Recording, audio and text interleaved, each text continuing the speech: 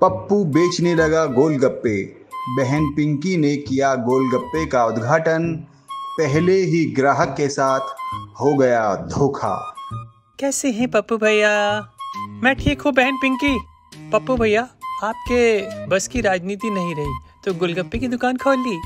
हाँ बहन, अब घर चलाने के लिए कुछ तो करना पड़ेगा ना। वैसे गोलगप्पे का काम भी अच्छा काम है। बड़े से बड़े आदमी अब तुम्हारे आगे हाथ फैलाकर खड़े होंगे। मैं तो उस दिन का इंतज़ार कर रहा हूँ जब मोदी जी मेरी दुकान पर आकर गोलगप्पे खाएँ। पर तू ही मेरी पहली ग्राहक बन गई है। अच्छा भैया, एक बात तो बताओ मुझे। पूछो बहन, क्या पूछना चाहती हो?